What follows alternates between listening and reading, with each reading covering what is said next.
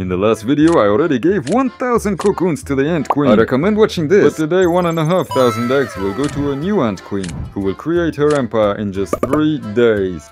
This is a Messor barbarus colony, and yes, this queen has already managed to give birth to several worker ants, so she already has a small colony. But for this it took her almost 3 months until these workers grow from eggs to pupae and led her to a full-fledged ant, and that is a very long time. But now this queen has the opportunity to create a powerful colony of ants in just 3 days, because for her in this box there is something simply fantastic. In this test tube, there are about 1,500 fresh ant pupae, which are already ready to be unpacked and created a giant ant hill. Just look at this gold! But wait! It looks like someone is already moving inside. Have the ants started unpacking each other themselves? But what will happen now when these workers see another queen ant? Oh my god, what a huge scale of this test tube!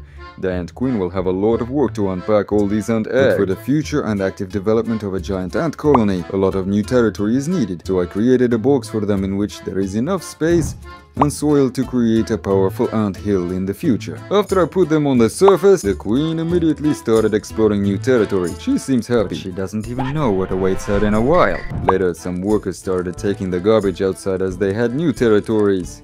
I decided to show the ants that there are much more comfortable conditions than in a test tube and made a small initial entrance to the nest in this soil. But she just looked at what I did. But she hasn't tried to move to a new nest with her workers yet. And now it's time. Let this little colony of ants pump up its capabilities. In nature, situations often occur when some ants conquer the eggs of other ant hills. But now this queen will get them for free and without any unnecessary fighting for them. I carefully pour them out near the test tube of our little colony.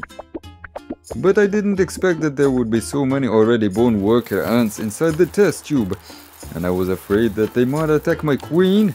But will they accept their new mother? In the first seconds, the queen ant saw the eggs, and was incredibly shocked by the number of eggs teleported from somewhere right at her door. She immediately started pulling the eggs into the test tube with her claws. Most of the workers did not understand how to react, but later I saw that even they had already started to carry their own eggs into the test tube. Later the queen came out to look at all her possessions and to get to know the other worker ants better. Some of them tried to attack her, but they were too weak since they had only recently been born. And then everyone decided to make peace and live together in peace. After some time, the queen together with her workers filled the entire test tube with eggs. But still there was one ant who stubbornly did not want to give the queen her eggs. They fought with each other for a long time. She took this egg from the worker. But this was the only way for them to survive, since the workers and eggs have no more meaning if they do not have a queen in the nest. But in the wild, there are even worse and more stressful situations for ants, but in our video, no one even got hurt. Time passed, and more and more worker ants and soldiers emerged from the eggs. Some were still showing a little aggression, Meanwhile, the test tube was almost completely full of eggs and there was nowhere to put them. A large pile of pupae and eggs was still kept near the test tube. There were a lot of ants. It was time to give them some food. Their main food is not syrup. They feed on various greens that they find in the fields. Meanwhile, I saw that someone was running inside the nest underground, but there was no active nest building yet. Then I decided to give the ants some protein.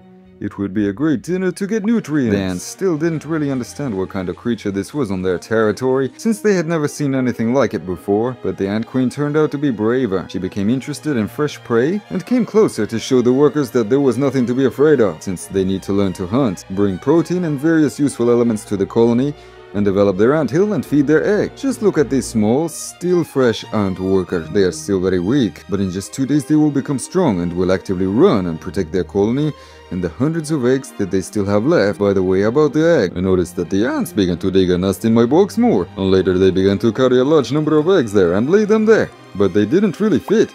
Since they need to dig their nests even deeper underground, they realized that they needed to make a real ant hill and actively started their construction. Even the queen came to see what was happening there. A few days later, I noticed that the ants had dug a much larger nest inside. Just look at it. And they also made a large warehouse underground over there not yet unpacked on Pupa if you compare it to the beginning. After one week, half of all the eggs had already been unpacked by the queen and the colony had already become twice as large. There are many more adventures and great development waiting for this colony, but in the near future they will create a giant empire, a real ant colony and giant ant hills. This ant queen received in just a week what she would have created herself for almost two years, so it is more than possible to say that the experiment was successful. Also many people wrote in the comments under the video where I bought the eggs.